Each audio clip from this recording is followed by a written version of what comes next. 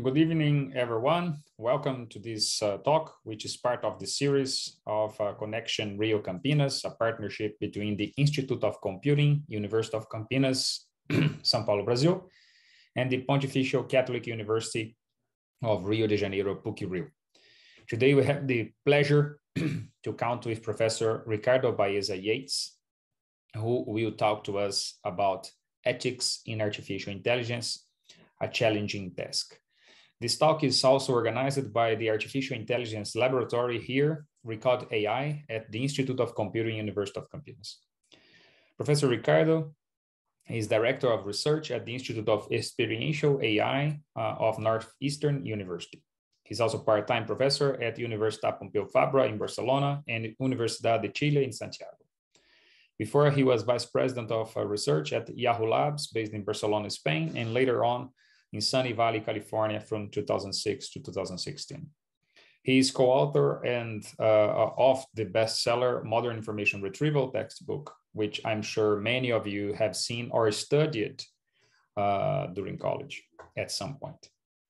With this book, Professor Ricardo uh, got uh, the ASIS&T 2012 Book of the Year Award from 2002 to 2004, he was elected to the Board of Governors of uh, the IEEE Computer Society. And between 2012 and 2016, he was elected for the ACM Council. Since 2010, he is a founding member of the Chilean Academy of Engineering. And in 2009, he was named ACM Fellow and in 11 IEEE Fellow, among many other awards and distinctions. His main areas of expertise include web search and data mining, information retrieval, uh, bias on artificial intelligence, data science, and algorithms in general. So Professor Ricardo, thank you very much for being uh, here today with us and for accepting the invitation to talk to us.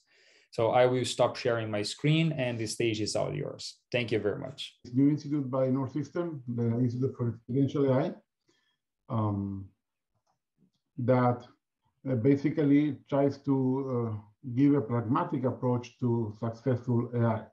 Uh, you may not know, but Northeastern started the, the co-op program early in the, in the 20th century in Boston, something that Waterloo also copied later in, in Canada.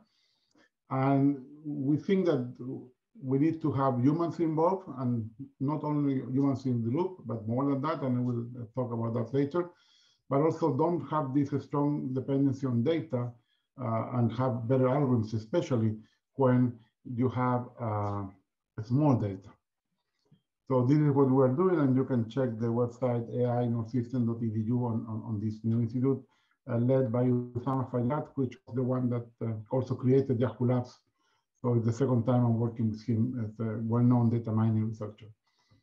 So the agenda will have two, basically three parts. In the first part, I will mention what, what for me are the five main problems with AI today. And this has a personal bias. Uh, bias is the first problem, so you need to be always conscious on, on, on the bias that you have. And the second part, I will talk about uh, some generic issues that are related to these problems. And then I will try to mention what we can do to partially mitigate all these problems. So let's start with, with the, the first problem, which I call the course of bias. Basically, you have bias data uh, coming to an algorithm. Uh, let me remember that information is biased in some because uh, if you have white noise, you can't do anything. Also, the first bias we have here is that when we hear the word bias, we think in something negative, but bias is not necessarily negative, it could be positive. So in, in general, it's neutral.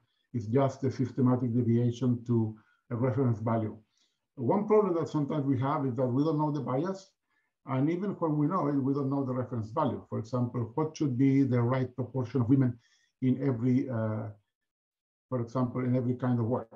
This is something that sometimes needs a cultural consensus and it's not something that the computer scientist will decide. So this is the situation, and then a natural question to ask is the algorithm should be neutral or fair. Uh, but normally we don't ask this question very often, and we get the same bias input. Even worse, sometimes we get amplified bias. And if that's the case, we cannot say that um, is the problem of the data. Indeed, in most cases, bias comes in the data, but bias is not only in the data. And, and, if you want to read more about this, you can check my bias on the web paper on computational ACM, June 2018, where I go to the overall vicious cycle of bias in software systems in the web that are, can be applied to any software system uh, in the in the world. So what means to be fair? So that's not easy. So that's uh,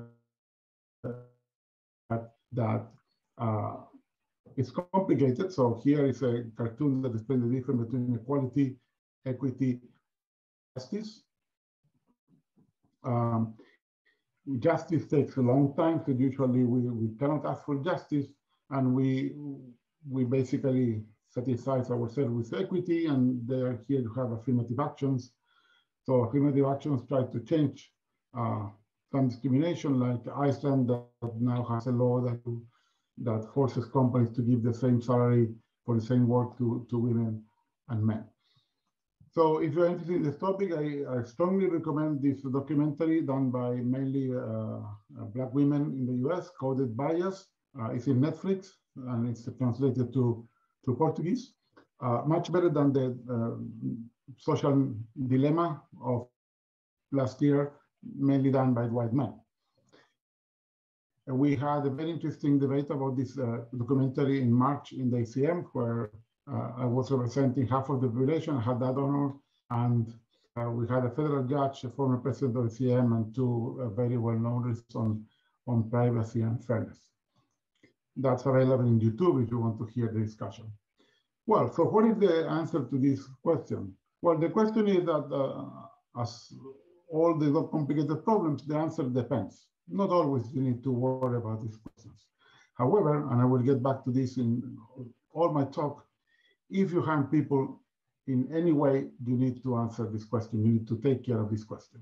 Now, how you solve that, that will be a completely different uh, talk, but you can always try to mitigate the input. People talk about the biasing, but you cannot fully debias a data set because you don't know all the biases that are in there. Uh, that would be the best way, but as I said, we do not know all of them, and also we don't know many reference values that we need to use. The second possibility is that the algorithm is about the bias, and you can tune the algorithm. For example, that happens in learning to rank with uh, ranking bias, because people click more on the top positions on search engines, uh, you have to basically debias that to, to avoid fooling yourself, thinking that the best positions are the best. And finally, you can always debias the output, but then you already lost a lot of information. For example, you search LinkedIn and you get 40 men, 10 women, you cannot do gender parity. The best you can do is gender parity in the top 20. So the first time that discrimination, uh, I guess, reached the headlines was in 2016 when uh, ProPublica uh, basically uh, reported that a system used for uh, recidivism, difficult word in English, uh, COMPAS had a racial bias.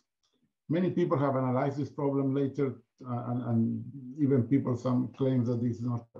In general, this is the case.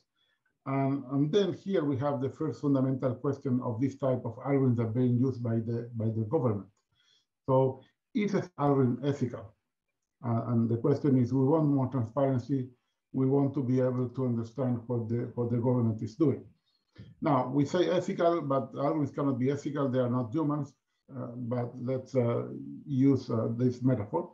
And then we need to ask a second question, is, is a public algorithm safe? Because if I know exactly how the algorithm is coded, then maybe I can game it and can manipulate the answer, and then I can fool the system.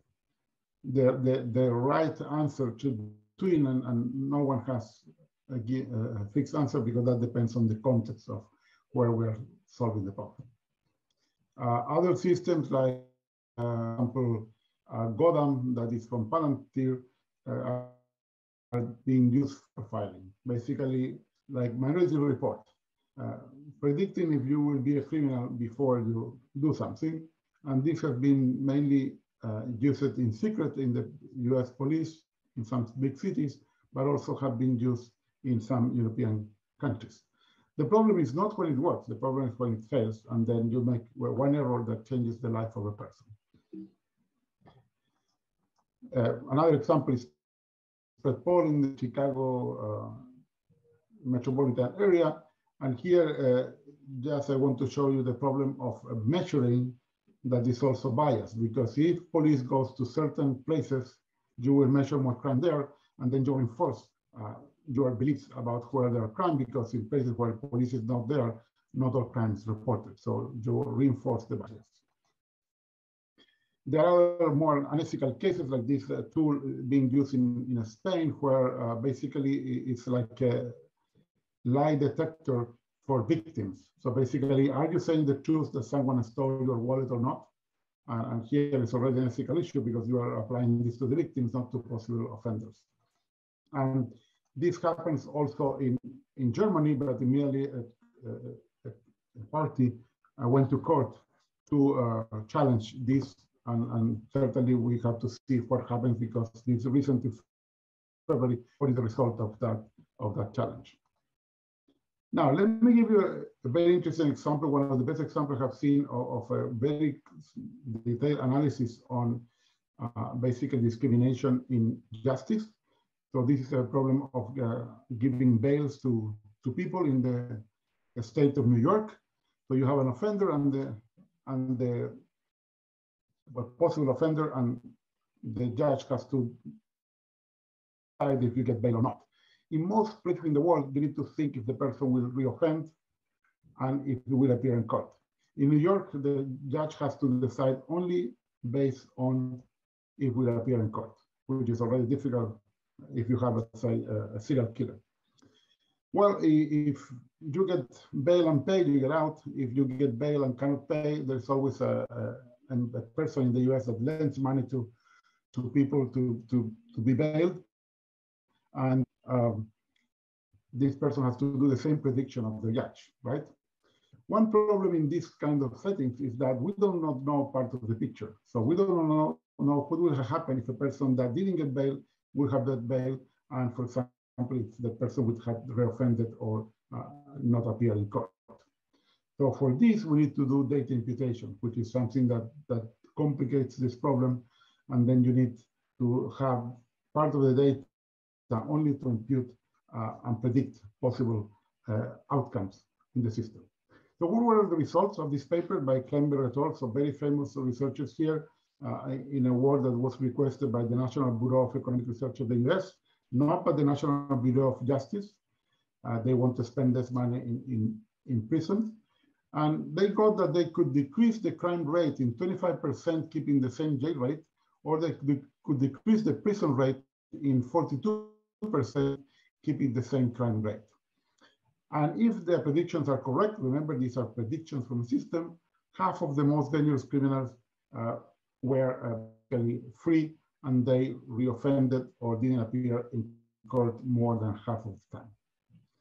So this is how they did the, the, the, data in different sets. I think I will skip this, we don't have much time, but uh, they use gradient boost decision trees, which are nonlinear decision trees and allow some interpretability.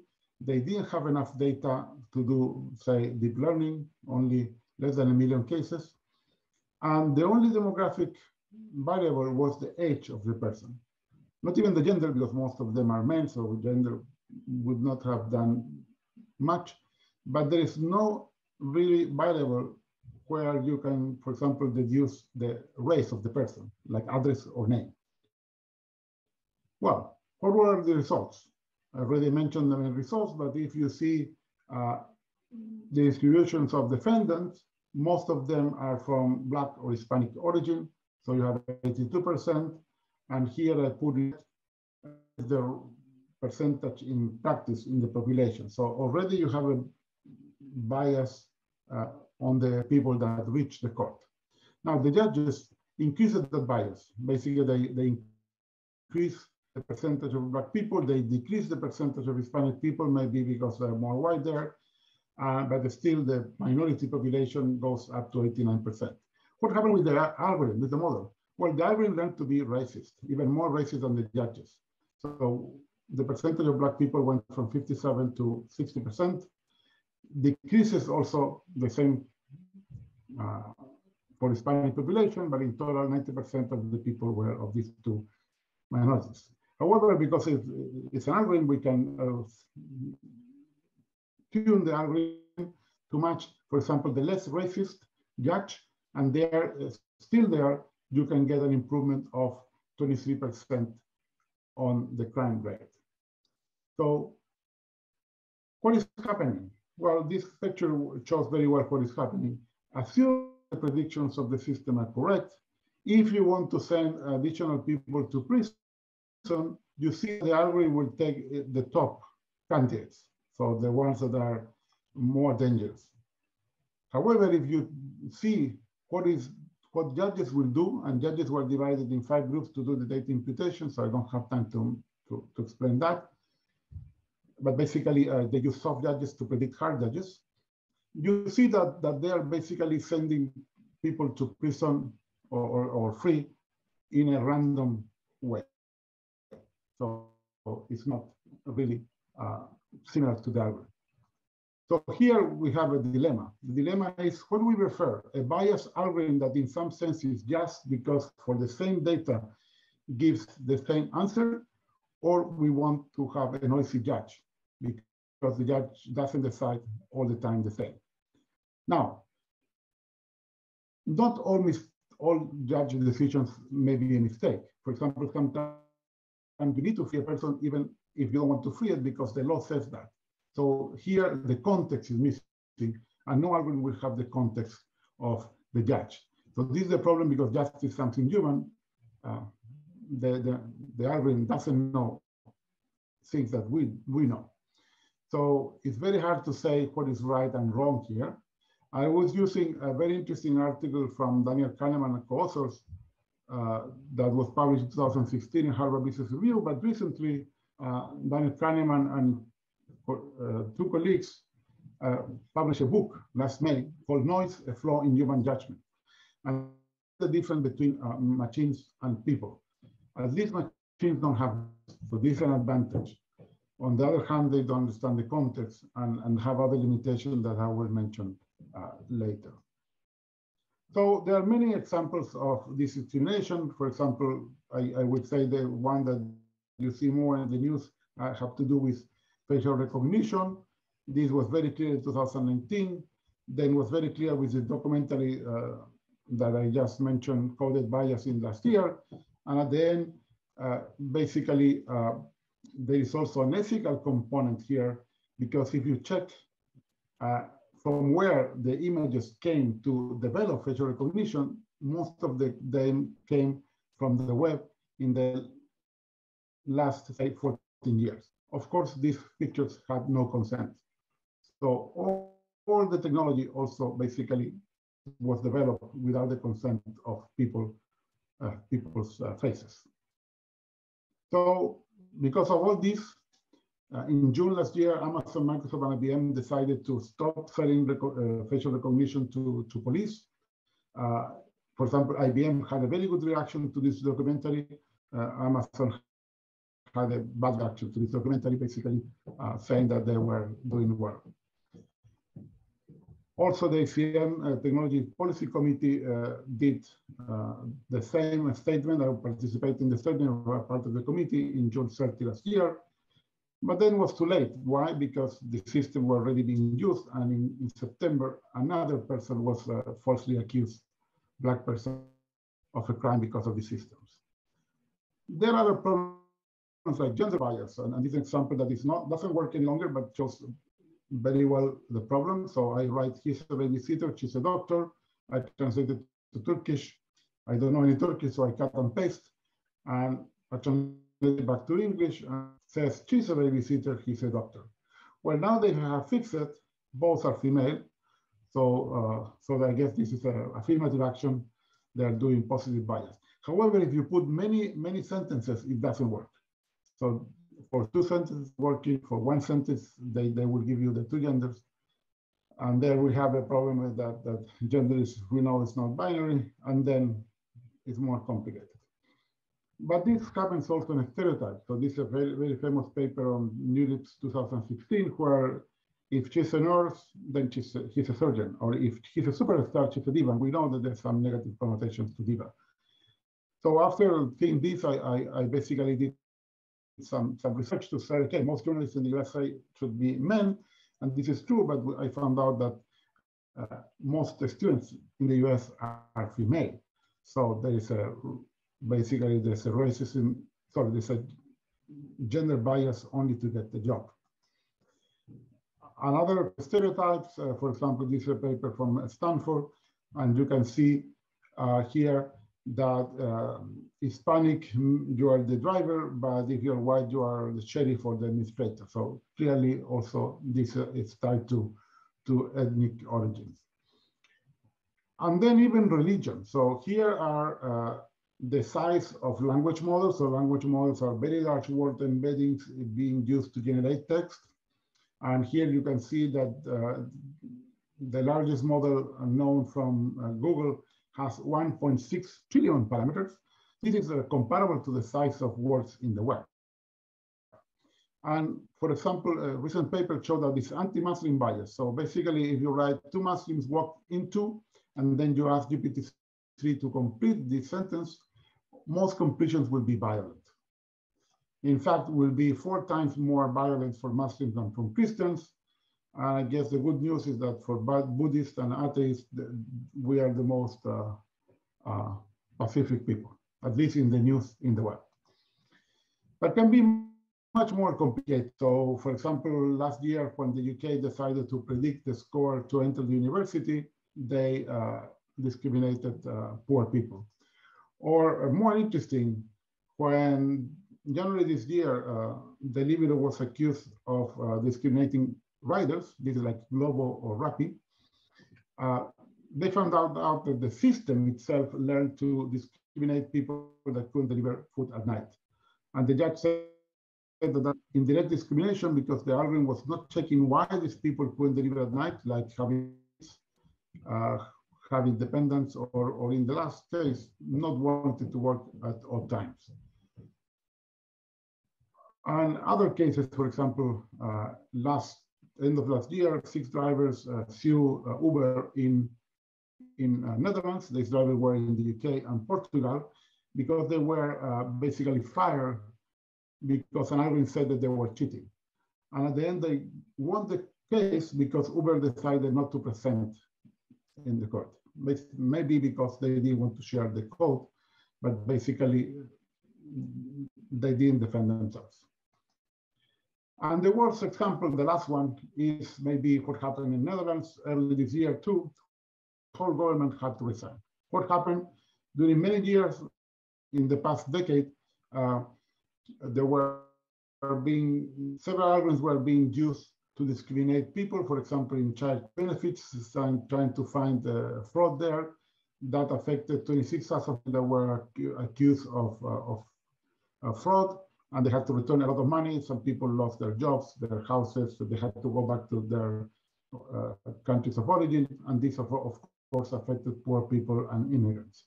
Was not enough that, that uh, the former minister resigned, she was part of the parliament, the whole government had to resign. And this is just a sample of cases. There are hundreds of cases of discrimination of the thousands that you can find in this place incident. Let's go to the second problem. The second problem is uh, physiognomy. Uh, I don't know if you, when you study philosophy at, uh, at school, you learn that there are different kinds of people depending on the shapes of their, their face. And we know that's not true any longer. But some people is using AI to do this. For example, uh, Kosinski Stanford used uh, facial biometrics to predict sexual orientation. Of course, uh, the people were not happy. Before, some people in China uh, were using uh, your face to, to predict if you will be a criminal. So again, Minority Report. And last year happened again in the US, in spite that there was a lot of controversy a few years earlier. And this year, Kosinski came back and he said that using facial biometrics, he can predict your political orientation with 70% accuracy. Well, 70% accuracy is very easy to achieve with uh, basically uh, spurious correlations. Maybe the, the, the, the hair, the, the clothing, even if you use some uh, in your face and so on. And this is kind of a modern phrenology.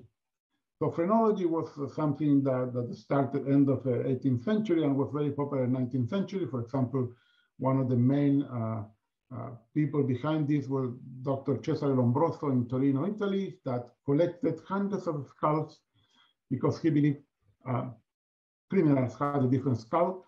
And he was really consistent with his belief because he also left his skeleton uh, for posterity. I guess that he this, this is for him the ground truth of a good person, the good person that collected uh, bodies from the morgue that nobody wanted, so only collected poor people. And you can visit his, his house in Torino, uh, and it's very interesting. Although it's sad that the person did this. But can be worse. Uh, in 2019 in MIT, they published a paper in CVPR, a very well-known conf conference, that claims that given a piece of audio of your voice, they can basically predict your face. So I have my master phrenology algorithm that with your, you send me a piece of voice through WhatsApp, I will predict your face, and then I will use your face to predict your name. Yes, there's a proposal for a patent from Mitre that says that they can predict your name from your face. I don't know what they do with all the adopted children from different cultures. And then I can know if you're a opposer politically or homosexual or criminal. Not only this doesn't work scientifically, there's no causality, but also this is not ethical. So there are two problems here, and you see these problems in major universities. So the IRBs are not working, and basically there are no real ethics uh, uh, board to check this thing, not even in the journals in the conference. And this can be even more subtle. So a lot of people is using facial biometrics to recognize emotions, and this uh, work from a famous neuroscientist from our system, Lisa Feldman Barrett. She has great TED talks on emotions. Uh, basically shows that people cannot predict emotions. So if people are labeling data and they cannot predict emotions, of course, AI cannot do it either. We are just rediscovering the stereotypes that work part of the time, not all the time. And please don't try to use your face for anything related to personality or emotions. Fourth problem, unfair e-commerce. And this is important because we are all here. This is not something that affects only women or minorities. This affects anyone. So, for example, uh, I know many people in, in the crowd, like my, my dear friend Ricardo Dahab. Uh, I can offer him something that I know he likes, but it's very hard to offer him something he doesn't know that if he knew it, he would like it. That's the filter bubble problem. And some people want to get out of the bubble, like Truman in the Truman Show, but many people is very happy on, on their false news bubble, and, and we have seen that in, in all uh, elections. Sadly, I saw it a few days, days ago in Chile. And systems are using things like diversity, novelty, serendipity to break this, this uh, personalization uh, bubble.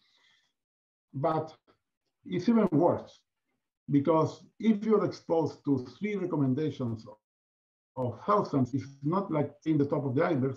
It's basically seeing the ice cube on the top of the iceberg. You are seeing three of thousands.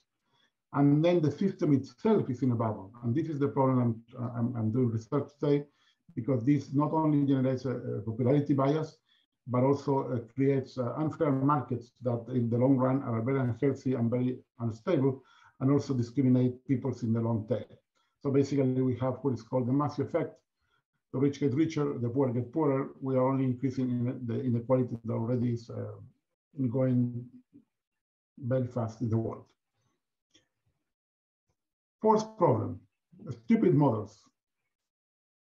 In 1979, George Box says all models are wrong, but some are useful.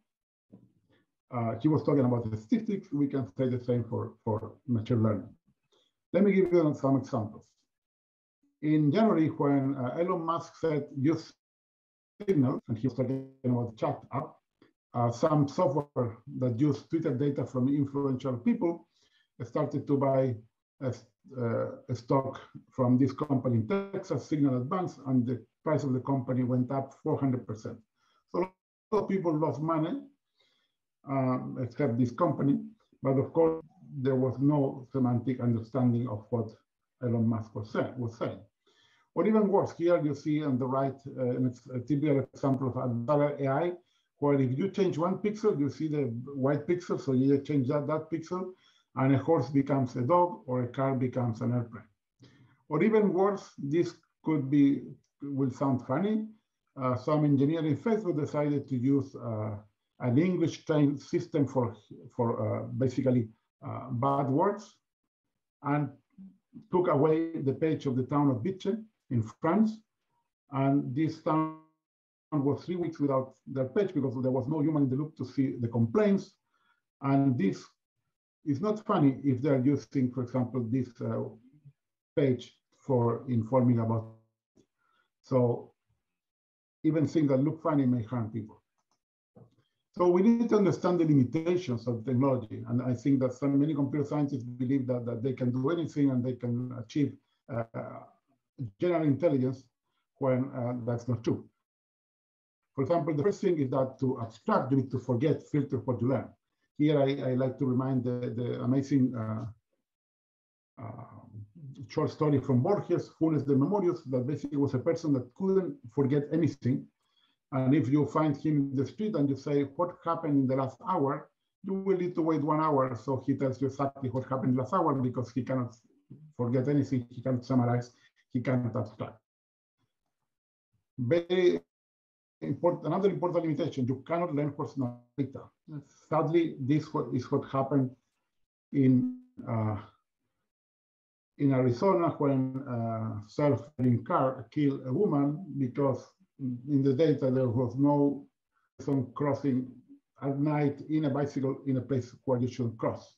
And suddenly the person that was inside the car was looking at the cell phone, so couldn't act uh, on time. Accuracy is not the key, it's the impact of errors. I don't care if you are you work 99% of the time well. I care about what you do in that 1% of the errors. So uh, I'm working on this, on, on how to really evaluate based on harm and not based on success. And remember, for all the computer scientists here, be humble. An intelligent person, when doesn't know, says doesn't know. Especially if you're a teacher, you have to say, I don't know. Today, I'm seeing many classifiers that even if you have confidence uh, 0.5 or 2, they say something. Don't say something that you're not sure is true. And the last problem is the waste of resources. So related to green computing. Again, I get back to, to this table of the language models, where they show that, for example, to train a transformer architecture, you need basically 57 years of the carbon print of a person, a standard person in the world. Or even worse, you need to spend one to three million dollars uh, in resources for this. So not all people can generate these, these models. And this is this is part of the content of this very famous paper now. Uh, maybe some people know it's here, the Stochastic Parrot paper that meant that uh, Gebru was fired from, from Google. She was the co-leader of the AI ethics team. And that implied that Margaret Mitchell couldn't put her name, the other leader, in the paper because Google forbid that. Uh, uh, but you can see her name, but that didn't matter because uh, she was also fired using an ethical argument uh, because of she was checking her email, but it's forbidden to check any email, including yours. Uh, but this is not new. For example, in uh, 2019, when Google tried to do an ethics board, to dissolve it in one week because they chose people not too ethical. So this is the meta ethics problem of the industry. And this is not only true for Google, but also true for Facebook, Amazon, and so on. So this leads to the second part. The second part has to do with generic issues. The first one is properties a software that is transparent and accountable should fulfill. Here are the seven properties that uh, the ACM proposed in 2017. Uh, most software don't have these properties with awareness. And we need to remember that systems do not need to be perfect, but seems that they need to be much better than us. Why? Because people is much harder judging machines than judging people. So to err is human, but not for a computer, although they are learning from us. And you can check this in, in the recent book by uh, my fellow Chilean Cesar Hidalgo on how humans judge machines. I believe that uh, you can still get a digital version for free on, on her, this website. So there are pragmatical questions here. So which properties we need to fulfill in, in, in software that, that will be responsible? And, and there are many questions that I will not answer because there are no clear answers and also because this would take another talk. So I'm working on a paper that basically I checked 30 different parts of software and I classified them to which part of the system applies and to whom they are important. And based on this, I have my own classification, my own taxonomy of these properties that are divided in six groups. Awareness, data provenance, completeness, usability, transparency, and responsibility. And you see here that the ACM ones are, are, are underlined, uh, and of course, there are many more that are important. There are people already working on, on, on this kind of software, like Ben Shneiderman. We have a group of people interested in this uh, in, in, in, a very interesting mailing list that he, he has. And he uses the word trustworthy. I, I prefer not to use trustworthy because I believe we cannot trust this software. We know that we'll make mistakes. I prefer to, to, to use responsible AI because uh, we know that they will fail, so we need to make sure that we'll be accountable of those mistakes. So the next should be how we can develop software that is responsible with the help of AI. So AI helping to solve the problems of AI. Regarding culture, there are differences between Christians, Muslims, but I want to point out only one interesting uh, view from the south of Africa, Ubuntu. Ubuntu basically says that I am because we are. So that that is not the person who is important, it's the group which is important. And if you have read about the Dunbar number and, and that we originally were tribes about 150 people, basically we are social species. We don't live uh, alone like uh, say a bear. So there's a very interesting uh, essay by Abeba Birhani that said that Descartes was wrong because a person is a person through other people. And then we have issues on identity, data protection, and privacy. Are, these are not the same thing, so I can be completely anonymous, but maybe I will be able to share part of my data. There are also legal issues like freedom of expression when I can do everything that's not forbidden against uh, data protection rights where I can do only what is allowed. And Brazil uh, basically took GDPR uh, as a base for the, uh, your new law of uh, data protection. Here we have issues like minimal data collection that is not fulfilled or minimal time store that also not fulfilled for many apps and, and many other applications. If you're interested in the topic, uh, I recommend Privacy Power that is translated to Spanish and Portuguese uh, by Carissa Véliz. So in the Article 72 of GDPR, just read the last line, says that a person can contest the decision.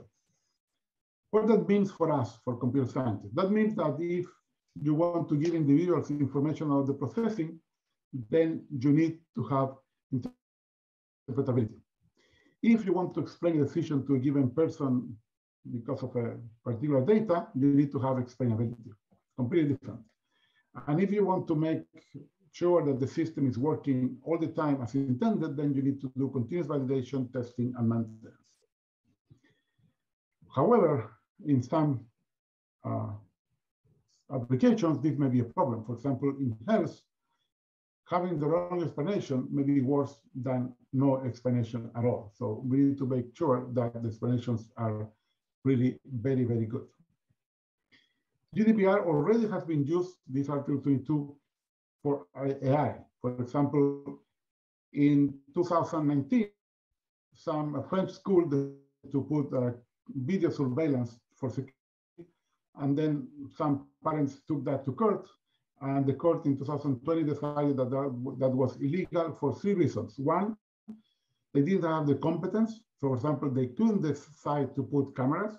this is something that sometimes we don't think about it. Do you have the, the power to make the decision to use something? Then they didn't have consent. Uh, basically, uh, you cannot consent to a camera. And, and, of course, this in this case, there's no legal basis, which is the other possibility for, for using a camera. And finally, proportionality, very, very important. The solution was not proportional to the problem being solved. You, can, you don't need to video everything to have security in school. So what about regulation? Well, regulation is complicated. We are seeing regulation in the, in, in the EU. We'll talk about this uh, in the US. However, I believe we shouldn't regulate technology. We should regulate the problem, the use of technology, any technology, not AI.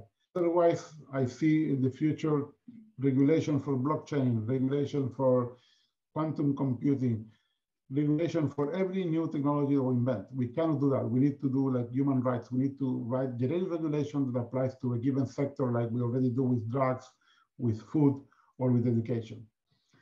Today, there are three different cases in, in, uh, in the US against the three major companies, Google, Facebook, and Amazon. And I, I guess they will develop this, this year. Uh, there were several proposals to be regulate in the US during the Trump government, and all of them were rejected, even one that was proposed, proposed by Kamala Harris. And I guess something will happen. Uh, Trump, before leaving, created the National AI Office. Um, he took two years to do it, but before he left it, so can interpret that. And I hope be a lot of uh, changes in the Biden administration. In particular, Khan was uh, named in in antitrust, and she was uh, criticizing a lot uh, antitrust in e-commerce. Last April uh, appeared the draft for the proposed regulation on AI. Uh, the first problem I already said it is, is regulating the use of the technology instead of regulating the problem. However, there's another bigger problem for me. It takes a risk uh, approach, basically divide the world in, in four types of risk. Forbidden, high risk, low risk, and no risk. Well, risk is a continuous variable. So basically, I imagine the game that companies will do, trying to be in the lowest uh, risk uh, possible. So this will be a problem to basically to enforce and to do the self-assessments that uh, you are supposed to do according to this proposal. One article is very interesting, Article 5, that says that you are forbidden to use criminal techniques to distort a person's behavior that may cause physical or psychological harm. So if you apply this to the semantic of the word, means that I cannot uh, offer a cake to a diabetic person as an ad in, in the web because that will harm not only psychological, but also physical. That would, would imply that, that the usage of devices should be limited in time or the use, use of video games should be limited in time because we're basically doing psychological harm in, in many cases. It's an addiction.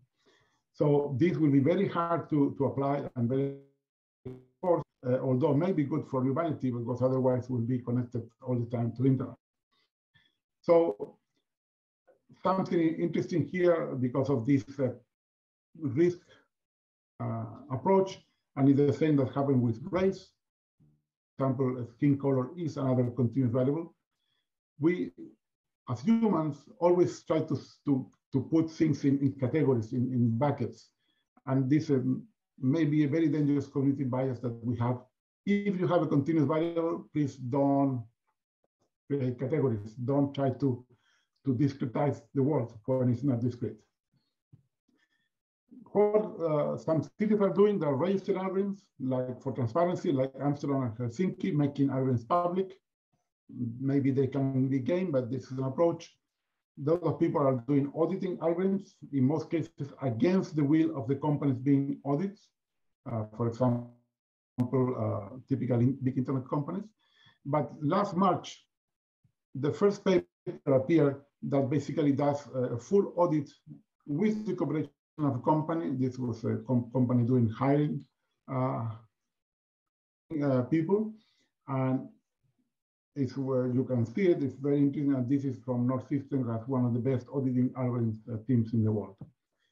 We have a lot of bad human practice in our profession. I will not this uh, to, to, to save time but I'm sure you know uh, all of them. These are typical things that start with, uh, I guess, trial and error way to do things. imagine if construction were done by trial and error like we do things. Some professional biases, we are with the hype of big data, when most companies in the world will never have big data, we need to focus in small data. And, and if you're interested in that, I wrote an essay in KDnuggets 2018 about small data. What about the coders, the designers? Can their bias be transferred to the code? Well, I think in my in my bias talk that's available in YouTube, a data science paper of University of Virginia, but lately in Norway they showed that the bias of the coders is transferred to the code. So possibly uh, software that is done by women will, will be more empathic than software done by men, and this is something that no one has tried yet. And in evaluation, well, uh, for people that review papers in conference, we see things like this all the time. They don't choose the right experiment, they don't choose the right test data, they don't choose the right metrics, they don't choose the right baseline. And this is a great talk uh, of Julio Gonzalo about this. So what we can do to finish, we can analyze for unknown unknown biases. It's not easy, but we can try to mitigate the problem with data. If that's the case, we need to make the model aware of bias and we need to make the user aware of bias. So we need to inform the user about all possible things that are basically potentially modifying their behavior. And finally, in evaluation and deployment, we shouldn't fool ourselves. We should be very tough with our software, do all the tests that you need, do the most tough comparison, and probably the result will be that we are not improving anything, but that's the truth. So recommendations for us, uh, remember the limitations I mentioned. Please remember these limitations. Say, I don't know when you don't know. Uh, try to have a code of ethics. Try to have humans in control and not humans in the loop. We are playing God, so let's be accountable and be responsible on that. And remember that ethics is, is a bit like privacy. It doesn't depend only on your ethics, depends on the ethics of your providers and also the ethics of your clients. Ethics is a network, like privacy is a network, and we need to be careful. So um, the final messages, remember, everything is a reflection, sometimes amplified, of our world. There's no virtual world, it's the same world through the different mirror we need to be aware of our own biases and ethics to, to start solving these problems. And then remember, ethics is complicated. Like Heather Henderson says, can AI, AI algorithms ever be ethical? As I said, no, because they're not human. But even if we believe they can be human, uh, this will be an issue, especially, and someone has to say it, because we cannot have AI ethics without ethics. So start with ethics and then worry about AI ethics. Otherwise, we'll get uh, problems. So my main worry is not artificial intelligence, it's natural intelligence. I see that in every election, sadly. And otherwise, we will have this kind of uh, black joke that says, prove you're not a human. The robot says there are no more humans, and they both laugh. Not because they kill the humans, because uh, we kill ourselves, as Harari will say. So we need to be careful about what we are doing and, and, and not make ethics to run behind technology as usual, but think about the risks and about the possible harms before that. So with that, I can take uh, questions. Thanks a lot, uh, Ricardo. Excellent, awesome talk. And I will just try to summarize in a few words here, the take home lesson as you put humans in control, humans in the loop, AI solutions to extend ourselves and not to uh, replace ourselves or our authority or decision making. Awesome. So uh, I have a few questions here, uh, some from myself and uh, some from the audience. Uh, I will start with the audience here.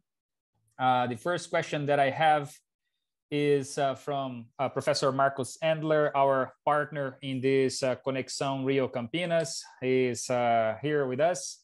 Uh, Marcos, would you like to read your own question and please go ahead? Okay. Uh so good, good evening. so thank you very much again, Ricardo. It, it, it, was an honor for us to, to have you talking here for, for us on a, such an important topic. So it's, it's a pleasure, actually.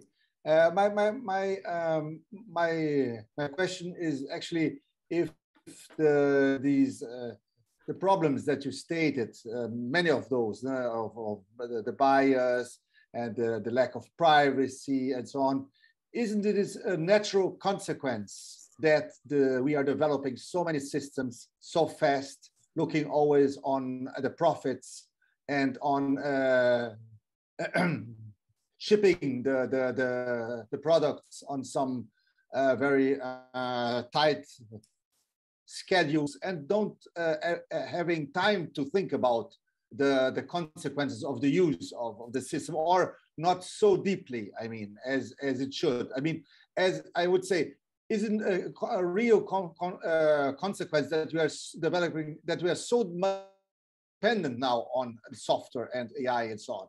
Maybe uh, uh, 50 years ago, we were not so much dependent. So maybe the uh, developers could also have more time to, to think if their program was running the right uh, uh, numerical uh, calculations in order to get the, the right predictions. And now we have to predict all things together. And maybe this is the, the, the, the problem. And so the engineers don't catch up with this problem. Could you comment on this, maybe?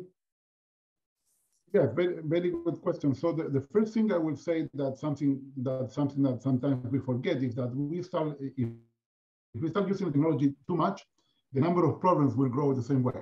So if something grows exponentially, the number of mistakes also will grow exponentially. This is a, a law of mathematics, even if it's a small percentage.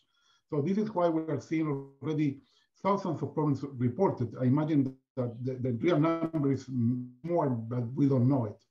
Like uh, because another we have another bias is that we like to talk about our success, but we don't like to talk about our failures. And you know that we have more failures, we have more failures than successes. Imagine if we have a book of all the startups that fail. Maybe we have much more successful startups because we, will say, okay, no, don't do this. So this is the first thing. The second thing is that, that I agree, like, for example, engineers should learn more about uh, ethics and technology. Um, at least to learn about what are the questions that they need to ask. I recently wrote an article in Forbes Technology Forum about the 10 questions that companies should uh, ask themselves before using AI. And sadly, many of these questions are never asked. So sometimes I think awareness will solve like 90% of the problem. Awareness of the questions that you need to ask, awareness of the bias that you need to check, and so on. But sometimes I see even people that really knows about the field using everything as a black box. And, and, and you know, black boxes are, are, are not the best ways. If you're a real engineer, a real engineer needs to understand the black box. We cannot use things like, okay, it works, it's magic. Because if it's magic for some of us, for other people, it's really real magic, right? New for other people, it's black magic.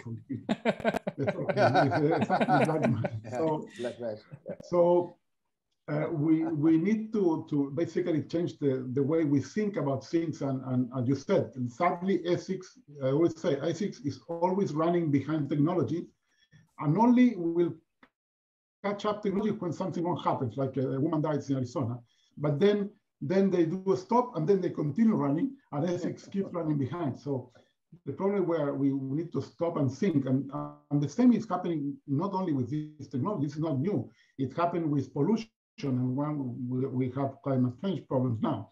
It happened with radioactivity. It happened with atomic bombs. The only case where I think we acted before seeing the problem was uh, chemical warfare. We decided not to use chemical weapons in advance.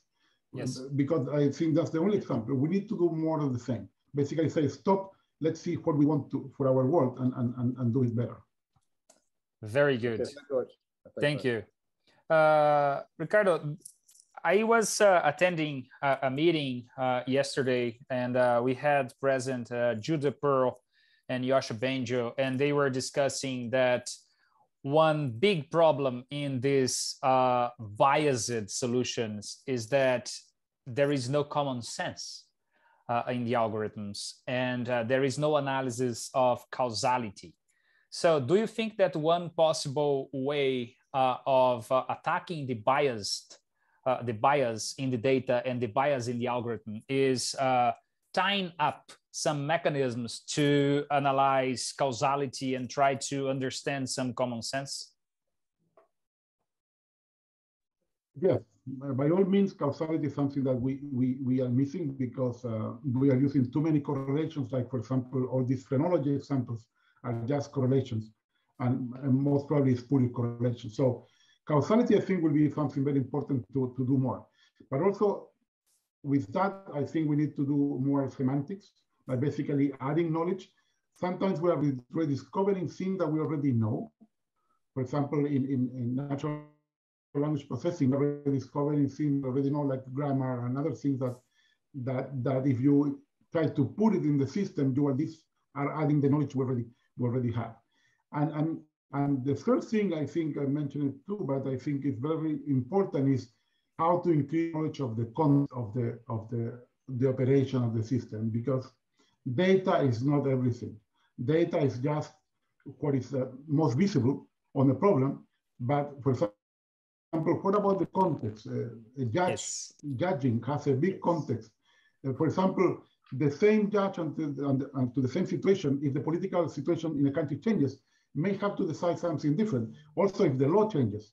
So sometimes, mm-hmm. sometimes, for example, the data doesn't include the changes in the law, and that can change the decision.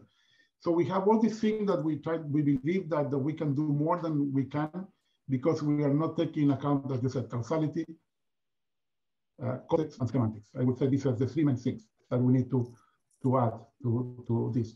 And I would think that we, it's not human intelligence. We are creating a different type of intelligence. This yes. is intelligence yes. where the skills are, they are, they are faster, they have better memory, they, they can do brute force because of that, and we cannot they, they don't have some limitations that we have.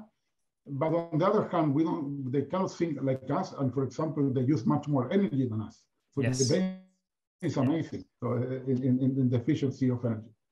Very good. Thank you. I have a question now uh, from Maria Eduarda. Uh, she is asking if do you see or do you envision that at some point in the future we are going to be able to develop algorithms that don't have bias. Uh, my personal opinion is that probably not, but I would like to to hear your opinion on that. Get rid of bias. This is something uh, first because of human. Second, because we, there are some biases that we don't know. We are not aware until they appear, until, until there's a problem. But I believe we can mitigate them.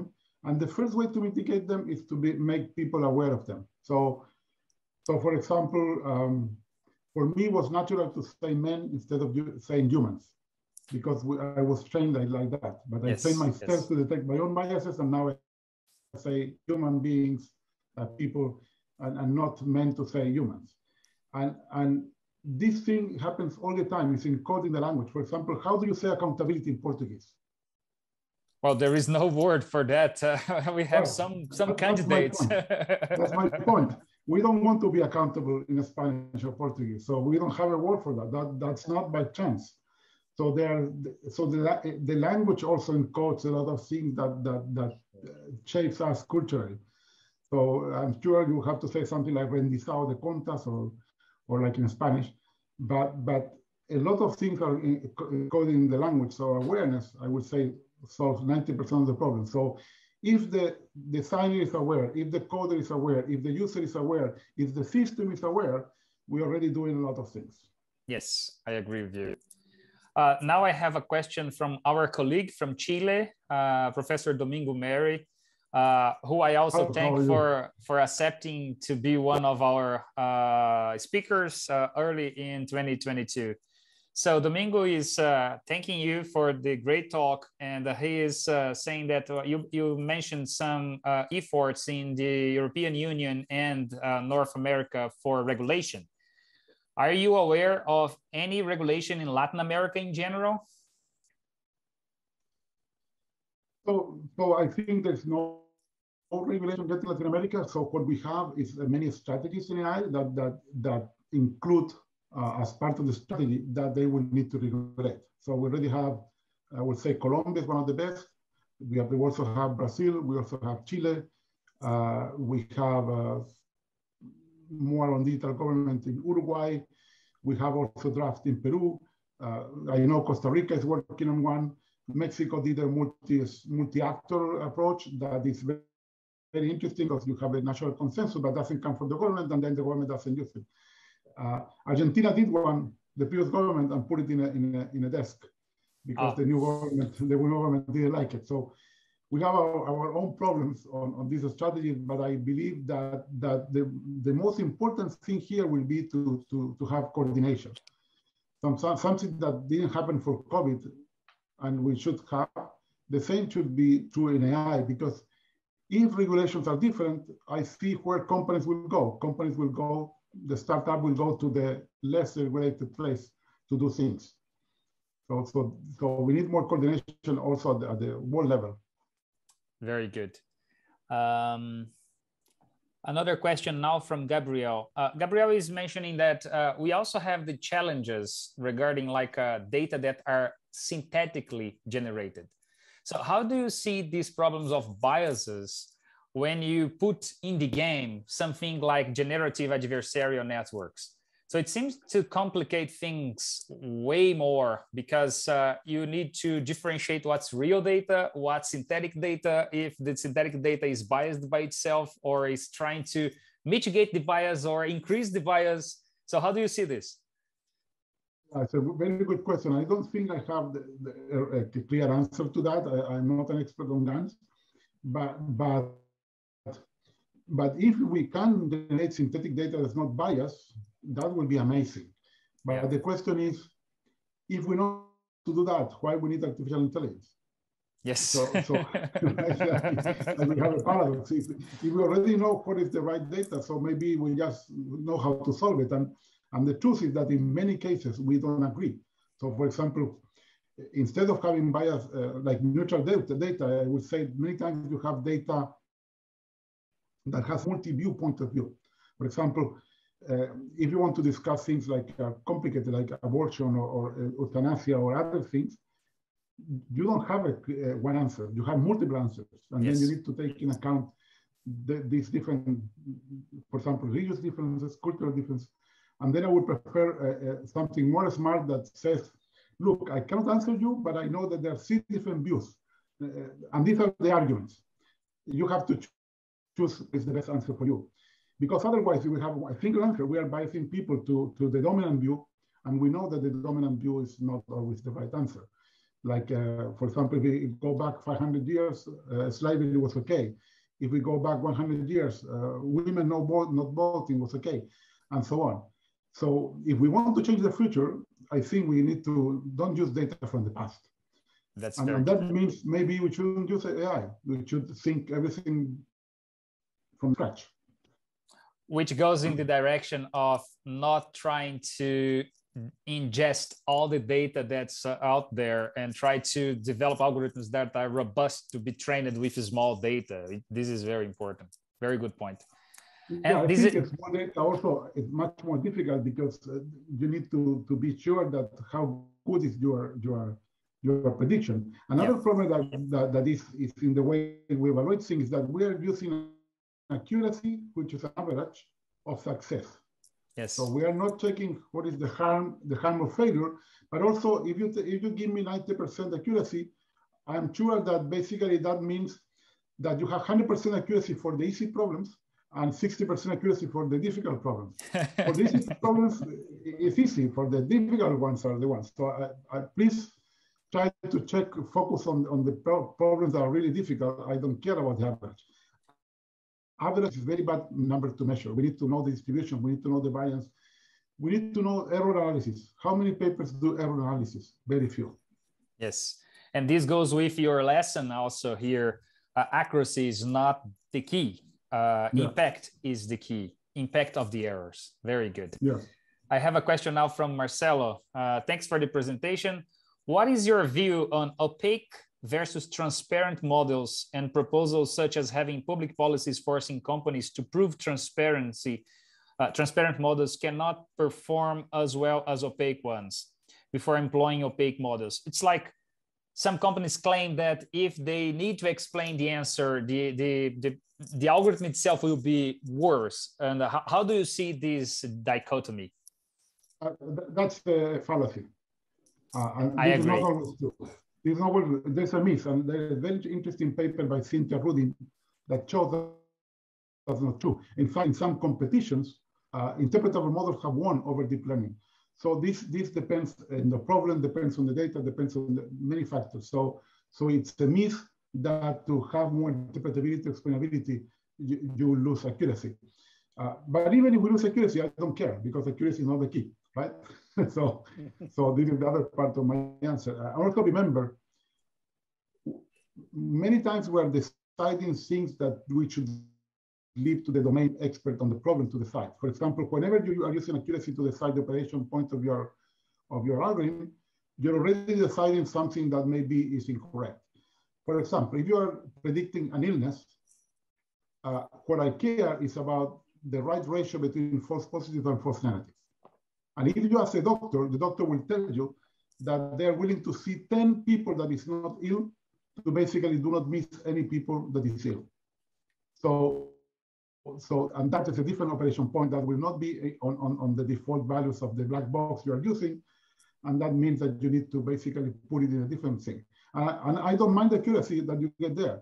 What I want is that the doctor is happy that he's seeing a lot of people and making a lot of people happy and saying, you're not ill, don't worry, the, the machine made a mistake. Just to make sure that you don't, you don't miss a, a person with cancer.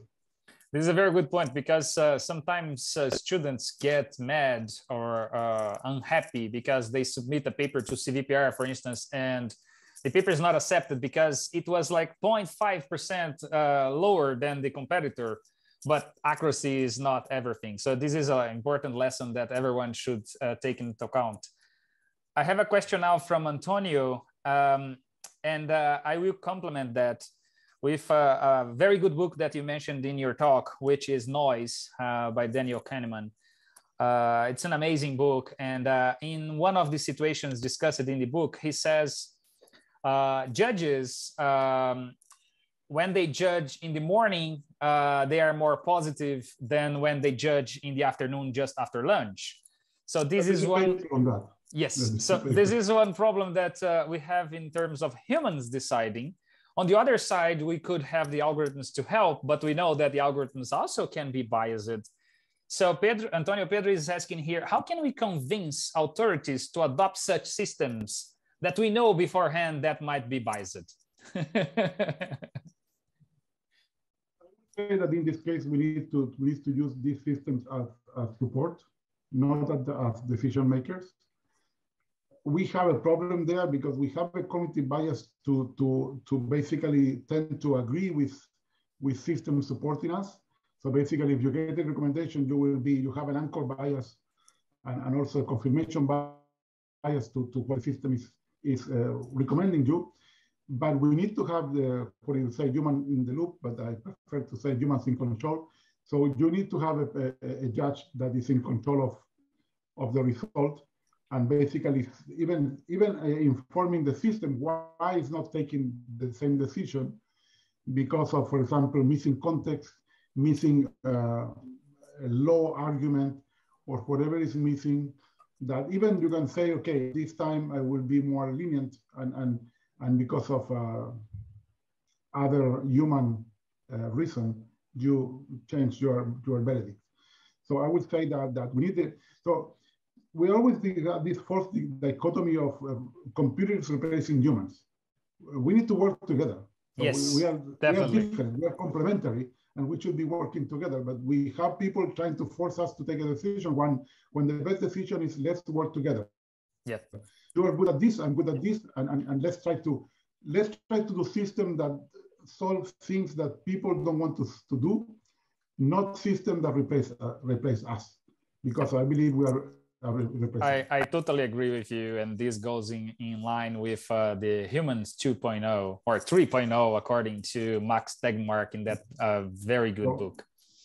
so Anderson, uh, I would love to, to keep talking, but I have a meeting in two minutes, so maybe yes, I I would like to wrap this up. Uh, thanking you again for the very very good talk, and uh, I, I, the chat is crazy. Uh, we never had like this many questions and comments and congratulations. So, uh, Ricardo, if, thank you very you much. Save, if you can save the chat and send it to me because you don't have that option, I will appreciate it because then I can check the, the questions and I think yes. have been very interesting. I, I will definitely save it and uh, send it to you. And uh, if you can share the, the slides later, it would be great.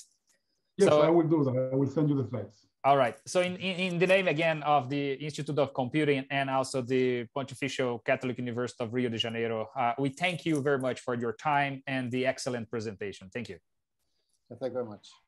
Uh, thank you, Anderson, Marcus, and muito obrigado to, to all my uh, Brazilian friends that I, I many people uh, also speak Spanish, like Domingo, Mauricio from, I guess he's in, he's in Brasilia, and other people that, that, that, I know. So thank you for coming. Obrigado. Thank you. Obrigado. Muito obrigado a vocês. Bye. Bye. Parabéns. Bye bye.